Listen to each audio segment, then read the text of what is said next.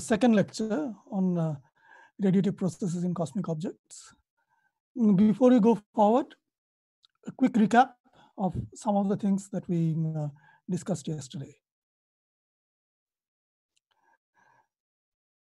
So we saw yesterday that mm, uh, continuum emission processes from electromagnetic charges you know, owe their origin to acceleration of the charge. So the full electric field can be written as in two parts. This part dies down at infinity, and the one containing acceleration uh, survives uh, as energy flow uh, to large distances. And this is what represents radiation. And electric field has an associated magnetic associated magnetic field, which is uh, the line of sight vector crossed with the electric field. So uh, instantaneous electric field from a moving charge with certain acceleration, the radiation field uh, also has a very definite direction, which is uh, provided by this vector. And so therefore, it is 100% polarized. However, when we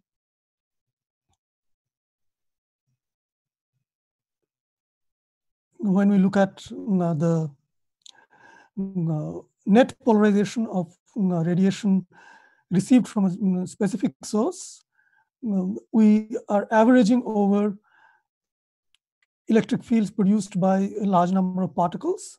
And also for each particle, we are averaging over a finite time during which these vectors can change their orientation. And as a result of these averaging, the net polarization can be less than 100%. So this is, um, these are some of the um, key elements which we discussed yesterday. And um, also would like to remember that the an accelerated electric charge produces radiative power, which is given by the Larmor formula, which is proportional to the charge squared times the acceleration squared. This is the proper acceleration. Proper acceleration is defined at the instantaneous rest frame of the charge. So Q squared times proper acceleration squared divided by 6 pi epsilon 0 c cubed. So this is the uh, expression for the emitted power. And that's uh, how much energy the charge is, losing per second. One uh, quick remark at this point, and that is to do with charge in a gravitational field. So uh, if you have a charge, for example, located on your table and it is stationary in a gravitational field. So that is equivalent to the charge being in a, in a constant acceleration. And mm, such a charge, according to this, must radiate. And mm, uh, in fact, the consensus now is that, mm, in fact, it does radiate, except if the observer happens to be accelerating uh, along with the charge. For example, if you have left the charge on the table and you are observing it. So you have the same acceleration as the charge at all times. Mm, this radiation is not you know, visible to you, but if there is inertial observer who is freely falling in the gravitational field, mm, to him, the charge will mm, uh, appear to be radiating. And uh, similarly, a freely falling charge, which is in an inertial frame, will not radiate. So uh, in a gravitational field where uh, general relativity needs to be applied. There are some uh, tricky conceptual issues, but the consensus uh, is what I just mentioned, that a stationary charge in a gravitational field will radiate because of it being in constant acceleration, and a freely falling charge in a gravitational field will not radiate. All right. However, we are not going to uh, use that information for anything further in uh, the lectures to come. All right. So now we have looked at uh, the power radiated by the charge. We have looked at the polarization of the electric vector. Let us now look at uh, the spectrum. How can we describe the spectrum of the radiation that is generated by these uh, radiating charges? Now, the spectrum is nothing but the Fourier transform of the time varying electric field. If the electric field is changing with time, then we take a Fourier transform and uh, decompose it into its frequency components, and that gives us the spectrum. Now, uh, as you have seen, the electric field is related to the acceleration, which is uh, written here as uh, rate of change of velocity v dot. So let the Fourier transform of v dot of t be v dot of omega, so which is defined this way. So, this is the Fourier transform definition. This v dot of omega is defined from v dot t as 1 by 2 pi to the half minus infinity to infinity. Integral over v dot omega e to the power of minus i omega t d omega gives you v dot t. And as a Fourier transform pair, v dot of omega can be derived from v dot t by a similar integral with this ne negative sign being changed to positive sign. Now, a Fourier transform pair like this has mm, uh, the property of what's called power theorem or Parseval theorem, where if you take the mm, uh, square integral of mm, uh, one of the members over that domain, it equals the square integral of the uh, transform member in the transform domain. So uh, v dot of omega squared d omega from minus infinity to infinity, this is omega going from minus infinity to infinity, is equal to v dot of t squared dt with t going from minus infinity to infinity. Now, uh, the electric field that we're talking about uh, is uh, a real quantity. So uh, the v dot of omega, which is the Fourier transform, is actually uh, Hermitian. And mm, uh, so in that case, one can write this integral minus infinity to infinity as only an integral over the positive frequencies going from 0 to infinity. And mm, uh, the mm, uh, square integral from minus infinity to 0 actually equals the square integral from 0 to infinity. So this quantity can be written as 2 integral from 0 to infinity v dot of omega squared d omega. Now remember v dot of t squared is what is proportional to the power radiated. So mm, uh, mm, uh, we will see now the mm, uh, relation between spectral power and the power radiated as we uh, described from the Larmor formula. So let now let us now integrate this quantity, which is the intensity as a function of uh, frequency over frequencies from zero to infinity. So this will then be the power radiated, which is 0 to infinity q squared by 6, 6 pi epsilon 0 c cube 2 is 2 v dot omega squared 2 v dot omega squared d omega.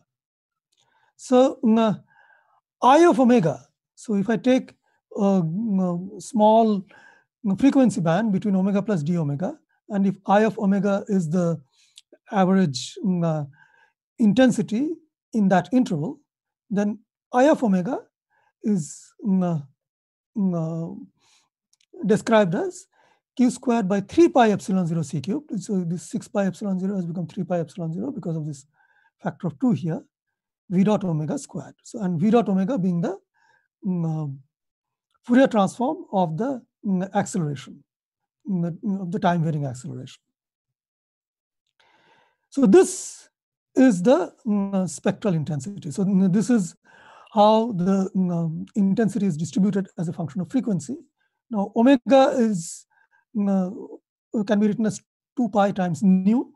Nu is uh, the um, regular frequency that we normally use to describe radiation. And intensity at a frequency nu, which we call a specific intensity. So this is energy. Mm, so intensity as a function, mm, mm, specific intensity I nu is defined as energy crossing per unit area per unit time in the frequency range between uh, uh, nu and nu plus d nu, uh, but the I nu is the value per uh, unit frequency per uh, unit solid angle. So uh, that is the uh, definition of specific intensity, energy crossing per unit area, per unit time, per unit frequency range, per unit solid angle. So that specific intensity, if we divide by the frequency cubed, then this quantity is Lorentz invariant. So that means if we uh, are observing from a frame uh, which is moving with respect to another frame, and if in frame one, the specific intensity we measure is I nu, then in frame two, which is moving with respect to frame one, the uh, quantity uh, I nu or I nu prime that I will measure will be different, but the frequency nu that I measure, so is nu prime, is also different. But if we construct the ratio of I nu by nu cubed in frame one and I nu prime by nu prime cubed in frame two, those quantities will be the same. So that's what uh, one means by this uh, relation of Lorentz invariance. And this I nu therefore describes the spectrum of the radiation. Now again, just as we mentioned about polarization, spectrum emitted by a single particle uh, is not what we directly see from a mm, source, mm, uh, astronomical source. Because that source will have many, many particles in it. So the radiation received from a source is the sum of emission from a large population of particles. Now, this large population of particles, not all of them will have the same en energy, not all of them will have the same acceleration.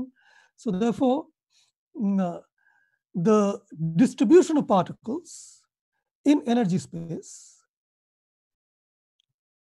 shape the mm, uh, spectrum that mm, the uh, object emits. And we will uh, see examples of it as we go along. Now, the energy distribution of particles, now, one of the energy distributions that is commonly encountered uh, in many cases is that uh, when the energy distribution of particles can be described by a thermal distribution, and the thermal distribution is, in fact, a Maxwell-Boltzmann distribution of energies uh, of the energies of the particles, right?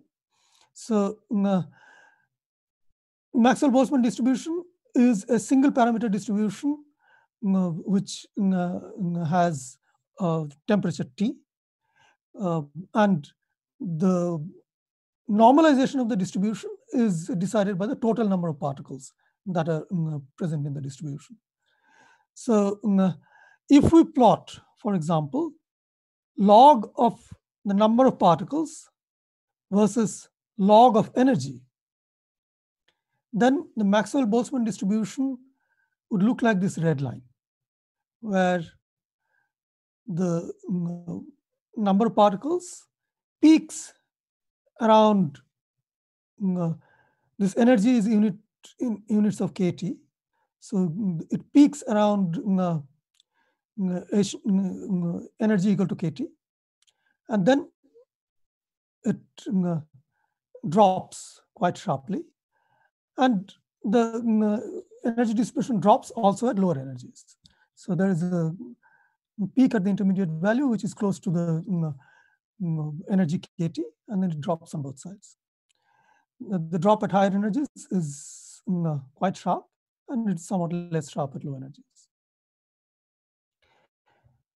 So the Maxwell-Boltzmann distribution of energies has a characteristic value which is given by the temperature. Now, in astrophysics, we will also encounter distributions which do not quite have such a characteristic energy. And uh, the energy distribution looks somewhat like this uh, straight line in log-log uh, diagram that I have drawn here. So this is called a power law distribution. And clearly, this distribution cannot be reproduced by any thermal uh, distribution of particles because any thermal distribution of particle you take, whether it is at this temperature or at a higher temperature or a lower temperature, it will all have always have a characteristic maximum and drop on both sides. But not, it will never produce a, mm, a power law distribution like this. So a power law distribution of this kind mm, uh, is mm, uh, often referred to as a non-thermal distribution. So we will talk about particle energy distributions that we encounter in, uh, astronomy uh, into these two classes. one is thermal distribution, another is a non-thermal distribution. So thermal distribution will always follow a Maxwell-Boltzmann uh, shape, whereas non-thermal distribution can be anything which is non-Maxwellian. Power law being an example. And it is this distribution of uh, energies of particles which will then decide what kind of radiation spectrum the source produces when we add the emission from all these particles which are present.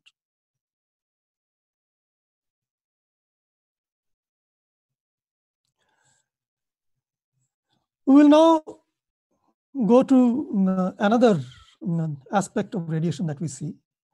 We have been talking about uh, radiation emitted by single mm, uh, charged particles like single electrons.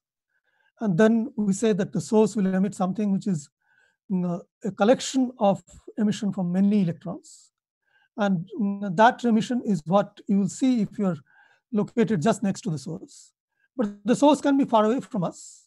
And uh, as the radiation propagates from the source to us, the material intervening between the source and us can further modify the character of the radiation. And what we see here, we will have these modifications already imposed on the radiation that we see. So therefore, we need to understand what kind of modification that the intervening medium has done so that we can uh, reconstruct what kind of radiation the source would have emitted. And it is the uh, radiation that the source would have emitted uh, contains the information about the source itself. So if we want to mm, study the source, we would like to um, unfold the effects of the propagation of radiation through matter. So mm, let us look at certain uh, effects that we come across in astrophysics. Uh, let's look at plasma effects to start with. So the large part of the material in the universe is in ionized state and uh, they can be described as plasmas. And radiation propagating through these plasmas uh, are dispersed. That is the phase velocity of the uh, wave uh, is not the same value at all frequencies. And for a standard plasma material, the phase velocity in units of c can be written as 1 minus omega p squared over omega squared to the power of minus half. This is for um, regular uh, collisionless non-magnetic plasma or the magnetic field being small.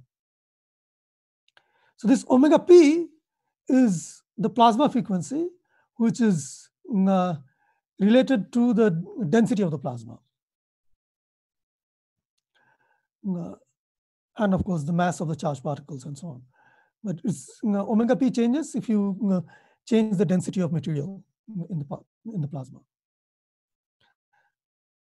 So when omega is close to omega p, so let's say if omega is less than omega p, then you can see that this quantity becomes imaginary.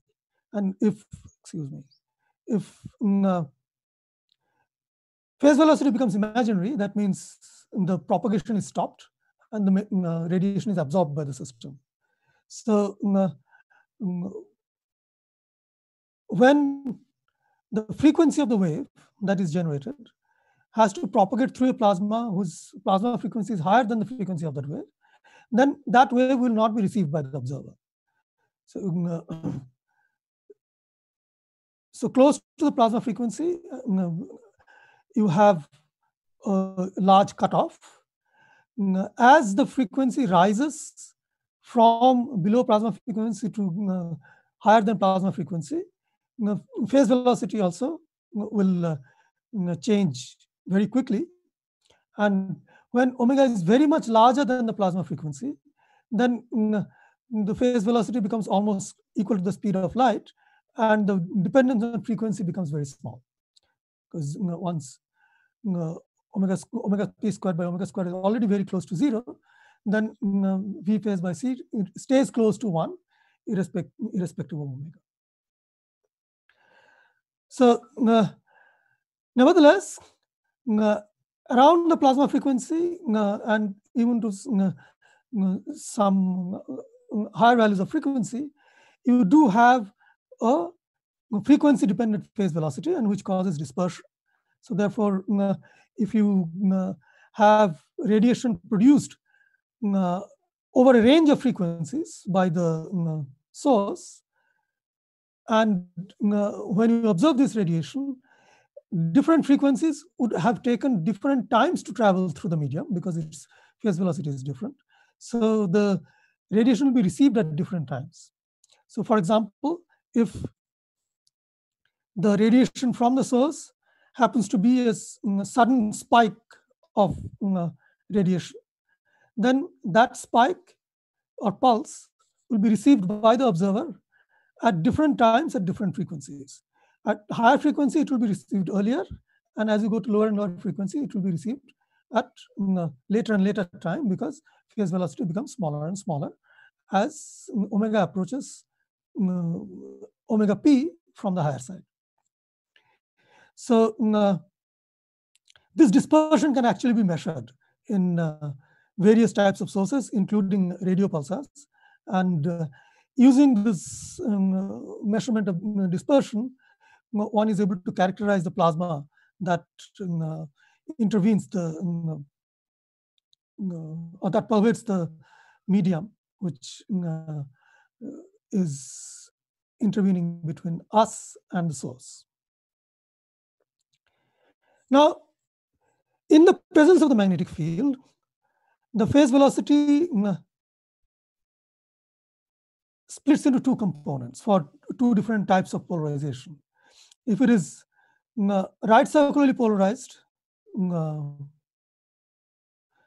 radiation propagating through electron plasma, then the phase velocity is uh, given by 1 minus omega p squared divided by omega times omega plus omega b, where omega b is the cyclotron resonant frequency. So in CGS units, it is given as the electron charge E times the magnetic field B divided by mass of the electron me times uh, speed of light c. So EB over MEC is the uh, uh, value of omega b uh, written in CGS units. So omega times omega plus omega b is the phase velocity of um, the right circularly polarized radiation, and omega minus omega b is the uh, phase velocity of the left circularly polarized radiation. So now you can see that the two polarizations will propagate through the medium at mm, uh, two different speeds. And this difference in speed is dependent on the frequency of the radiation. So let us say the mm, uh, mm, uh, radiation that is produced initially is linearly polarized. Now, linearly polarized radiation can be decomposed into two components. One is right circularly polarized, one is left circularly polarized. So once such a radiation is incident on this plasma, the right circularly polarized component will propagate at a different speed than the left circularly polarized component. And then when they arrive at the observer, the right circularly polarized radiation would have arrived at a different phase compared to the left circularly polarized radiation. And then when you combine them and then produce, uh, reconstruct the uh, linear polarization at the, uh, at the observer, the result of this phase difference between uh, right circularly polarized and left circularly polarized uh, components is that the net polarization, plane of polarization would have rotated. And this effect is called Faraday rotation. And mm, uh, clearly, the extent of Faraday rotation is related to this omega b. And this omega b is proportional to the mm, magnetic field strength. So therefore, mm, uh, if we are able to study this Faraday rotation, and mm, uh, since this is the function, function of wave, wavelength or frequency, we can measure this effect of Faraday rotation by taking the polarization angle at different frequencies, which would have rotated by different amounts. And from that, we can reconstruct the magnetic field in the medium in the line of sight. So uh, Faraday rotation gives us a way of measuring the magnetic field, effective magnetic field between the um, um, source and the observer in the line of sight. So these are certain types of uh, plasma effects which uh, modify the radiation as it propagates through matter. There is uh, another effect which can even induce polarization in the uh, incoming radiation. For example, uh, if it is optical radiation and you have dust grains in the uh, intervening matter, as the radiation, let us say the incident radiation was unpolarized, and it uh, is incident on a dust grain which is elongated. The uh, property of the dust grains is such that uh, it absorbs the radiation uh, the, uh, which is polarized parallel to the uh, principal axis of the dust and the perpendicular to the incident axis of the dust differently. So as a result, when the radiation propagates through this dust grain, it would have uh, predominantly, predominantly left with one uh, uh, primary axis of polarization. Whereas the dust grain itself can produce its own uh, uh, infrared radiation when it is heated, and that will have polarization which will be uh, parallel to its principal axis. So uh, you have the incident radiation passing through the dust grain and surviving with polarization which is perpendicular to the principal axis. And the radiation produced by the dust itself will have a polarization parallel to the principal axis of the dust grain, as long as the dust grain is very elongated like this one in the picture. And so this type of effect can actually induce polarization in the emission that we receive, although the incident radiation which is generated at the source is unpolarized. And the dust not only does uh, impose polarization, it of course also absorbs this radiation. And the amount of absorption as a function of wavelength for a typical uh, uh, distribution of dust grains in our galaxy is shown here. This is wavelength in microns, and this is the uh, extinction coefficient, um, which is logarithm of the amount of absorption. And you can see that you have a strongly wavelength dependent behavior over here. Uh, this is one by wavelength, by the way. One by wavelength in micron. So as you go this way, you go from infrared to ultraviolet, and the absorption in the ultraviolet is very, very strong. And it is so strong that, for example, if you have, let us say, an incident radiation which is uh, which has a spectrum as uh, shown by this broken power law over here. This is a log flux and uh, this is log frequency. At uh, regions far away from the influence of the dust grains, you more or less receive what uh, is incident, which is in this region and this region. However, where the dust grains uh, absorb radiation, you can have a very, very deep absorption and particularly in extreme ultraviolet, you do not receive any radiation at all from anything which is mm, uh, even mm, uh, a few kiloparsecs away in the galactic plane. So mm, uh, in the extreme ultraviolet, our view is very, very local, whereas in, uh, in uh, other wavelength regions, one can see farther away because the dust grains in the distributed in the interstellar medium in our own galaxy uh, are not so uh, strongly absorbing at other frequencies.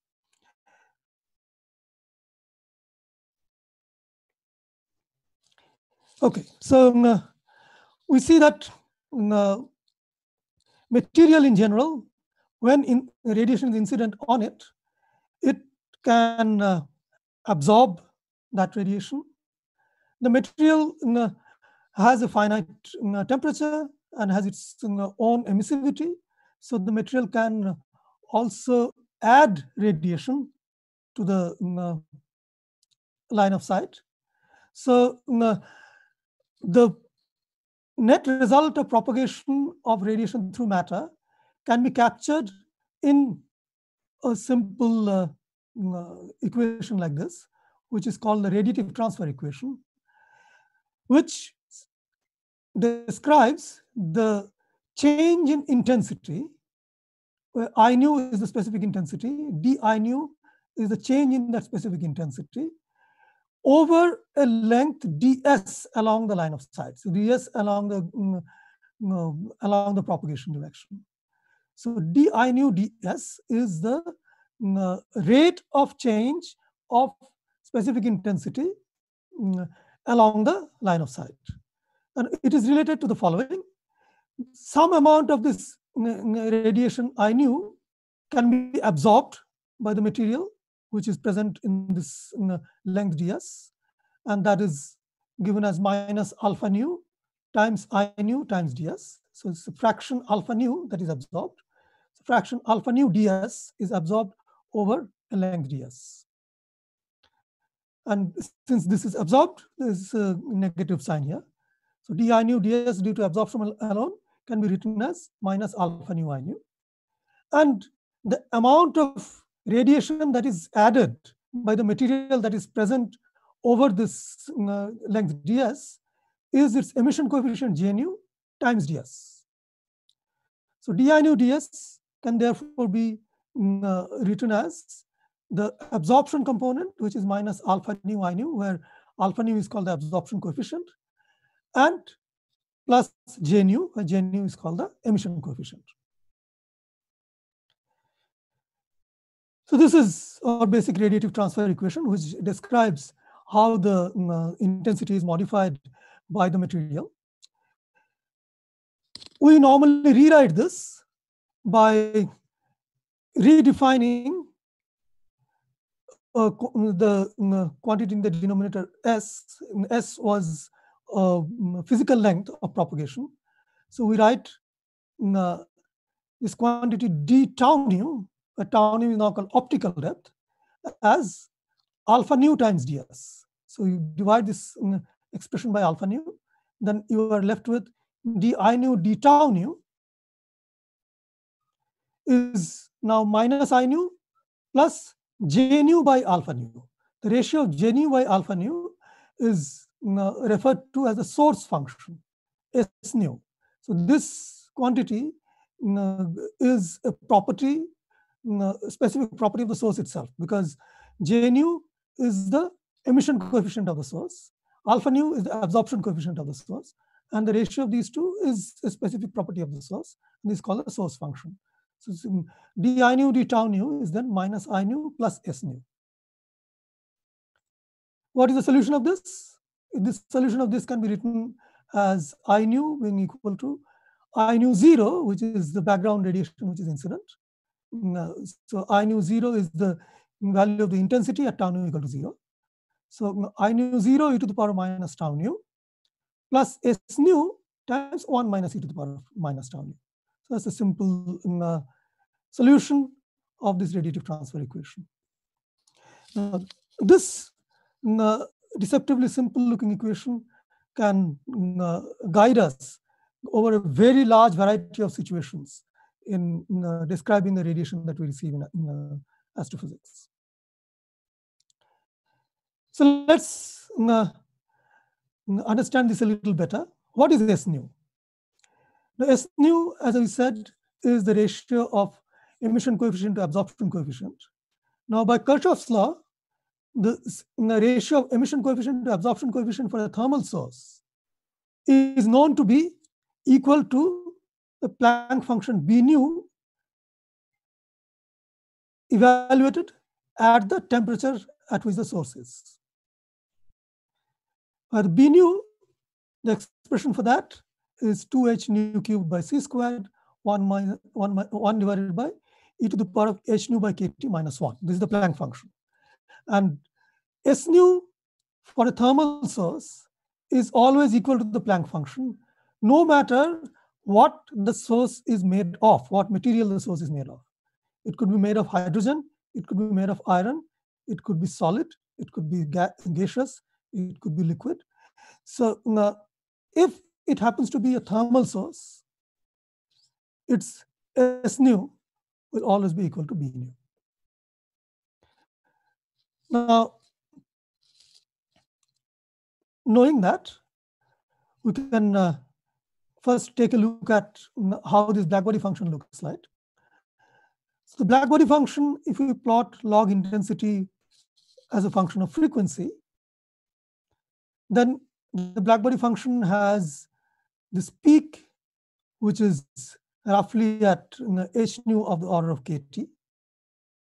And then it drops off on either side just as I was mentioning about Maxwell-Boltzmann distribution, it has a peak near energy of the order of kT, and then it drops off on both sides.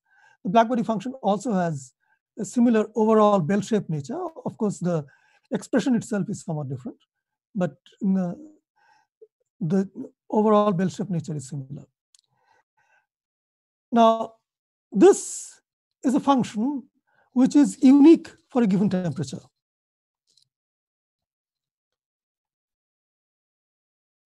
let's go back. So the only parameter in this uh, definition of the Planck function is temperature. There's nothing else. Nu is the independent variable and everything else is constant.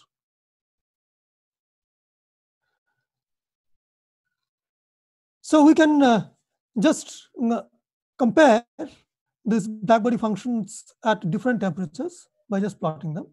And as one can see, as one moves from a lower temperature to a higher temperature, the location of the peak, of course, keeps moving up because uh, the location of the peak is near h nu uh, of the order of kt.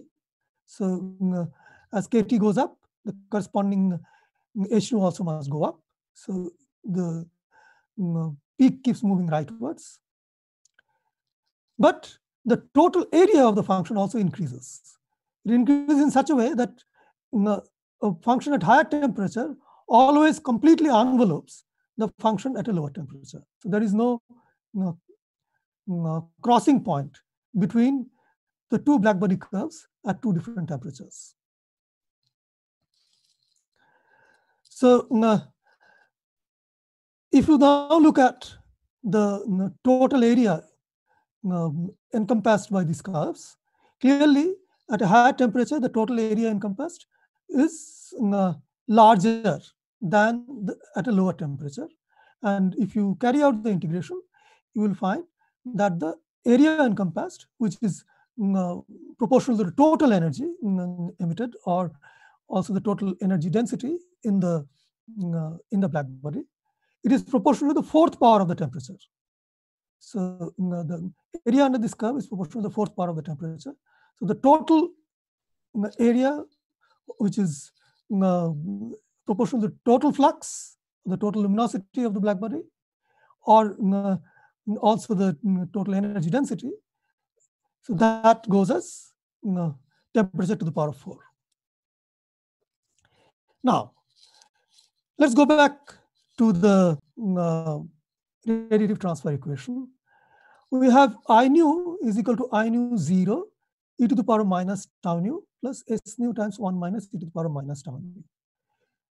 If tau nu happens to be very, very large, then e to the power minus tau nu is close to 0. So uh, if the source has a very large optical depth, we actually see no evidence of this uh, radiation, uh, background radiation impinging from the source from behind it. So that gets totally absorbed. However, this term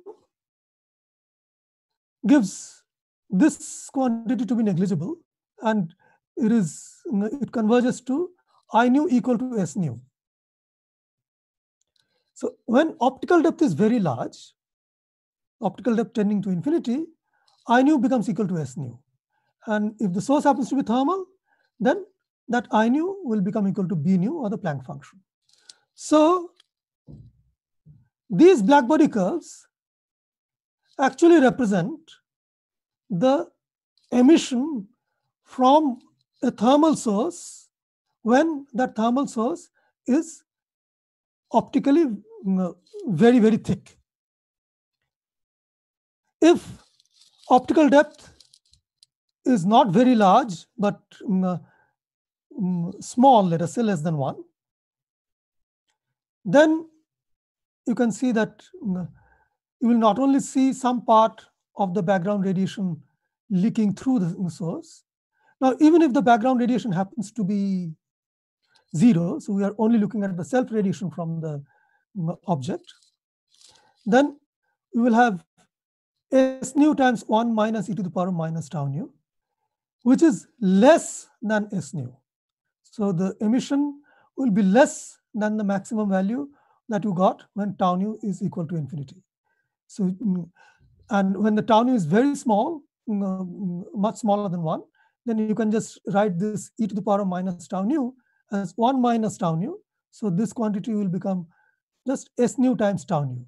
So uh, when the tau nu is very small, then uh, the intensity becomes proportional to the optical depth and the source function. And when the uh, optical depth becomes very large, I nu just becomes a source function. So if a source happens to be optically thick at certain frequencies, but not so optically thick at some other frequencies, then uh, if the source is thermal, then what we can state is that the spectrum of the source will be fully contained within the blackbody curve at that temperature. At frequencies where the uh, optical depth is very high, the emission will touch the blackbody curve. At frequencies where the optical depth is not very large and small, the um, uh, emission will drop below the blackbody curve. And now the exact nature of the spectrum can then be just um, uh, um, uh, described by the behavior of optical depth as a function of frequency, right?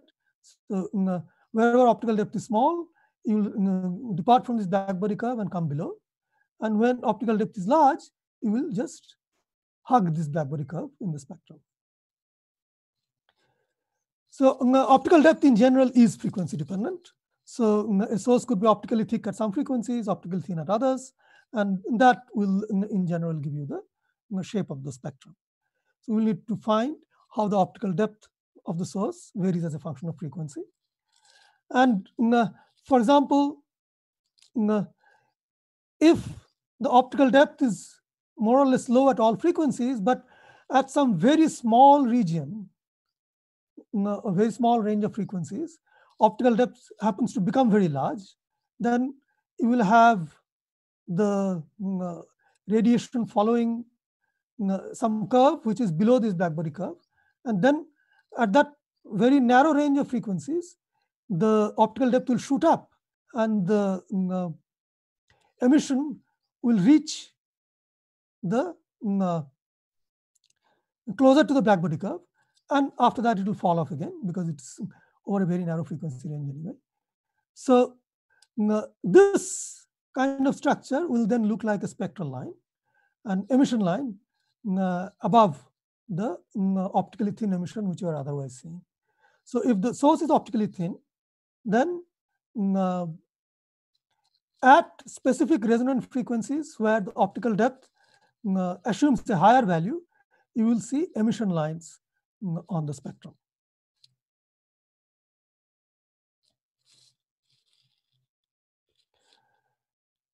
Here is a uh, about the best measured blackbody spectrum, which is the um, cosmic microwave blackbody spectrum. Uh, and this is a blackbody at uh, 2.73 Kelvin. The error bars here are highly magnified compared to the uh, actual measurement. So the error bars are very, very tiny actually. So this is about the most perfect blackbody that one has measured in nature.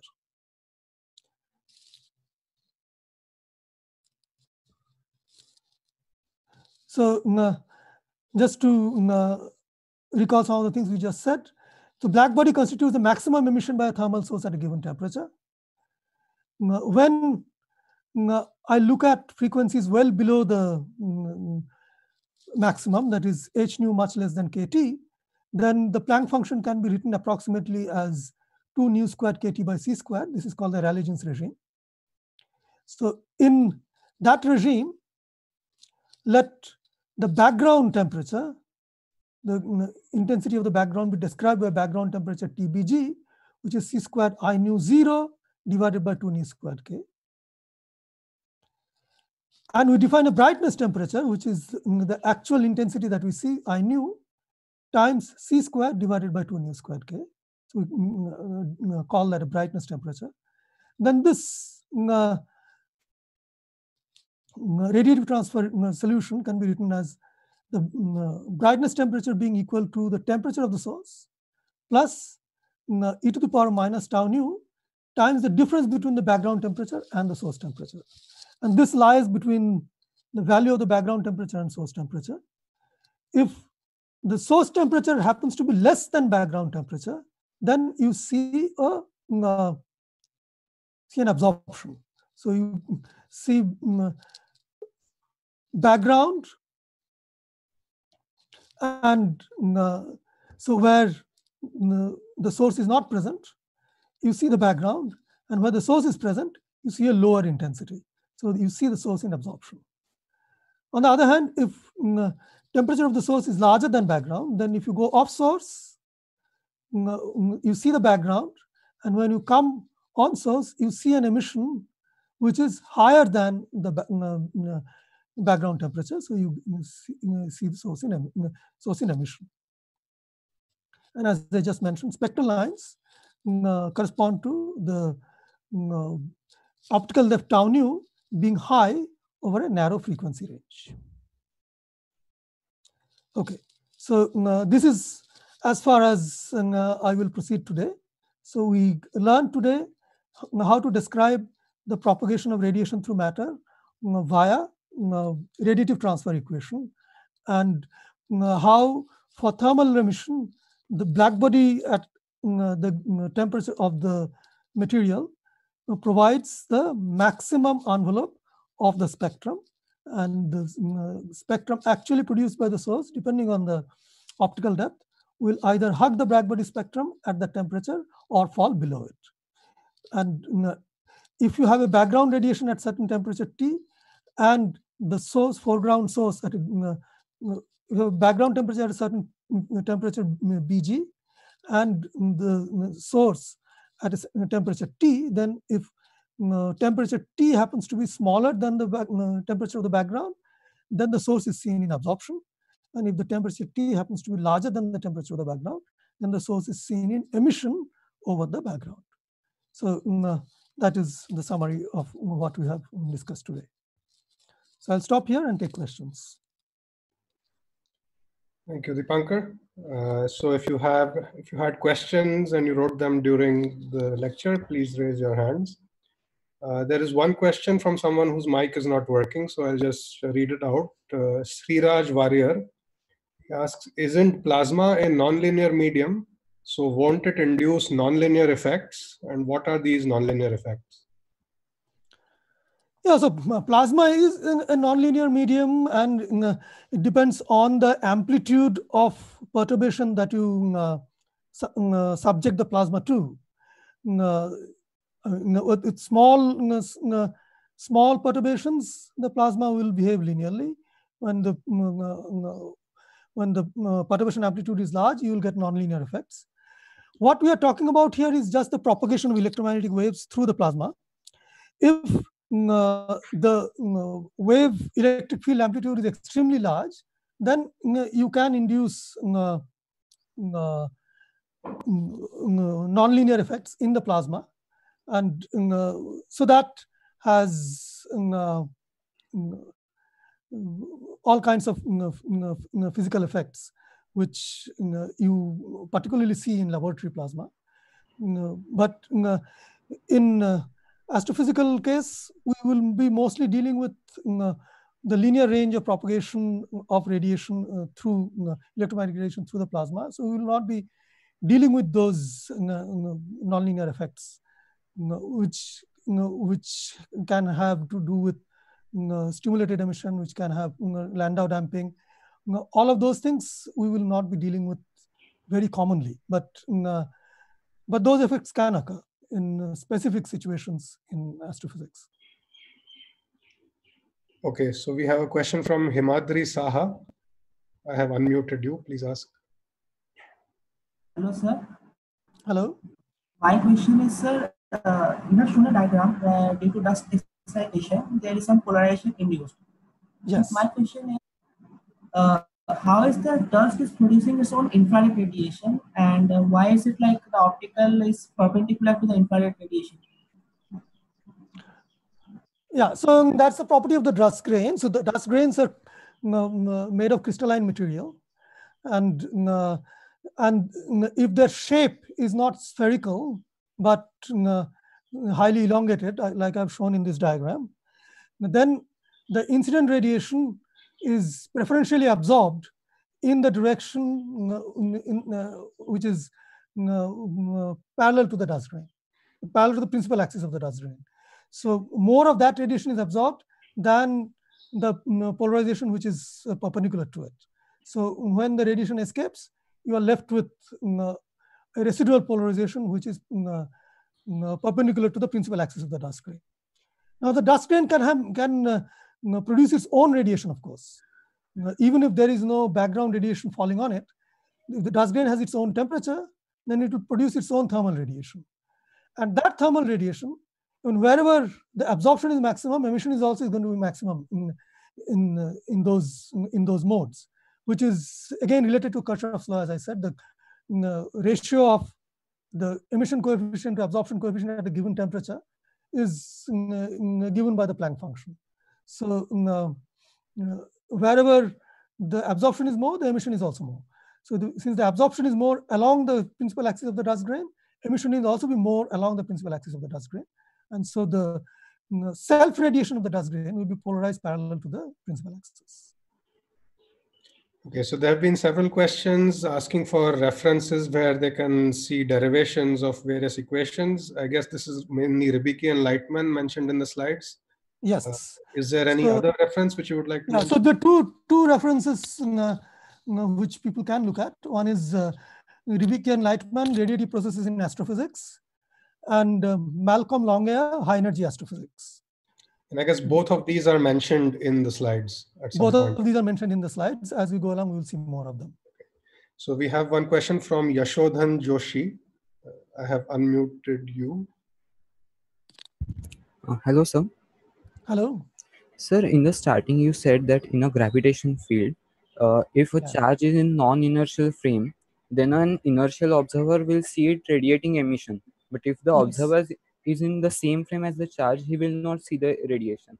That is now right. radiation will take energy along with him. So how will yes. the observer in this uh, frame same as charge will explain that or observe that? Because he won't see the radiation, right?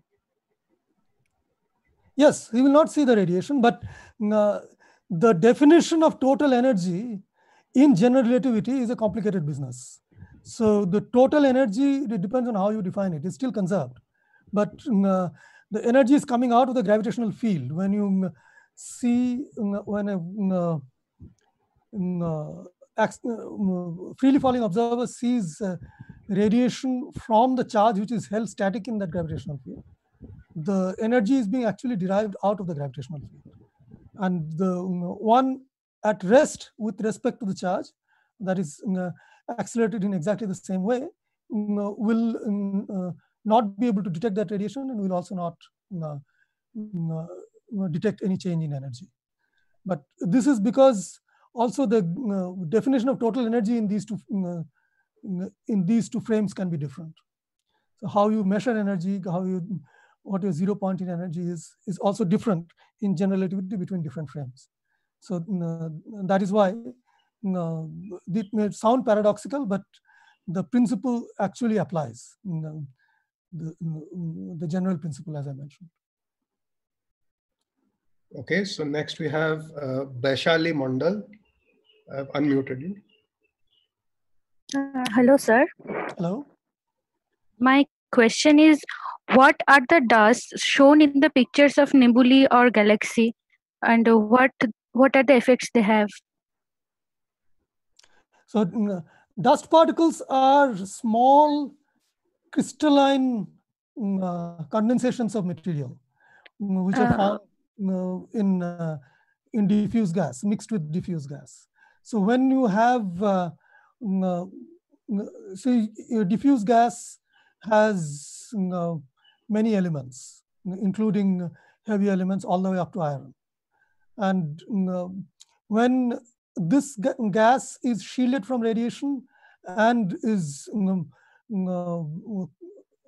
cooled to low temperatures, because if you shield gas from radiation in interstellar space, it can uh, cool down to very low temperatures.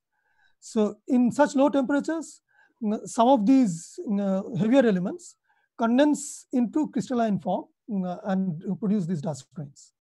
And, and so they can have shapes of various kind, largely elongated. So that's what is responsible for this polarization. So so that's what dust grains are. Now, dust grains are present everywhere that there is cold gas in galaxies, in interstellar medium, wherever there is cold gas, dust grain is usually mixed with it. When uh, um, either when it comes in the vicinity of either a hot gas or uh, radiation from a star, dust grains tend to get destroyed. So you will, over time, long exposure to ultraviolet radiation from a star will destroy and evaporate dust grains. And so is, if you put the dust grain in um, hot gas, which is also present in some parts of the interstellar medium, and uh, for example, if the dust grains encounter shocked gas, you know, there is supernova explosion and shocked gas is generated and dust grains are embedded in it, the dust grains will evaporate. So you know, these things destroy dust grains. On the other hand, when a molecular cloud keeps becoming denser under its own gravity and keeps cooling down, it generates dust grains inside it. So so yeah, so, um, the dust grains are present and they do have a role in the thermal balance of the uh, of the interstellar gas. Dust grains can show up in absorption, like in the Horsehead Nebula, which I showed yesterday. Dust grains can also show up as strong infrared emitters from uh, galaxies, where particularly dust grains are being heated by newly formed stars and the dust grains are radiating uh, their own infrared radiation, they can have mm, a very large infrared luminosity that they can produce of these galaxies. So mm, strong uh, infrared luminous galaxies are signatures of uh, newly forming stars in these galaxies. So, uh, so th this is all I can say at the moment about dust grains, but of course there is more to it, but we will not go go any further deep in these lectures. Okay, so we'll take one last question from the Zoom, uh, and then maybe you can look at the YouTube chat. Sure. So we have a question from Priyanka B. I've unmuted you. Hello, sir. Yes, Good morning, sir. good morning. My question is while studying the polarimetry data, uh, we get information regarding the magnetic field components and also the electric field components. So, in addition to the information on rotation from the cosmic objects, what additional information can the magnetic field components give? I'm not sure I fully understood your question. What you measure uh, in a typical uh, detector, Ah, yeah. electric field that you receive. Ah, In yes. fact, magnetic field, which is part of the radiation, Ah, it's very hard to detect because uh, there is a uh, one V by C factor which multiplies the ability for us to detect this magnetic field. But largely, all our detectors are tuned to detecting the electric field mm, uh, coming from the source. So we detect our polarization that way, right? okay. Now, what I mentioned is the magnetic field that is present in the interstellar medium, in the medium through which the um, radiation is propagating. Okay. And radiation propagating through such a medium can rotate the plane of polarization, Okay. so the plane of electric polarization, and you can measure that Ah. um, rotation, and that can give us an estimate of the magnetic field distribution in the interstellar medium. okay. Now, I will talk about uh, uh, generation of radiation in magnetic field as well. Uh, and there are mechanisms which will produce polarized radiation right at the source uh, due to the presence of magnetic field. But that is a subject of a future lecture. So we will uh, um, um, discuss that when we come to it. Thank you, sir. Okay, so maybe we can just, uh, you can just take a quick look at the Yeah. chat. So I see the first question. mm, uh, in plasma, there is always magnetic field. So how this dispersion formula can be applied for studying plasma effects? Should we use Faraday rotation formula always? Yes. So mm, mm, all these depends on at what frequency range you're in. So magnetic field sets a frequency scale which is related to omega b. Plasma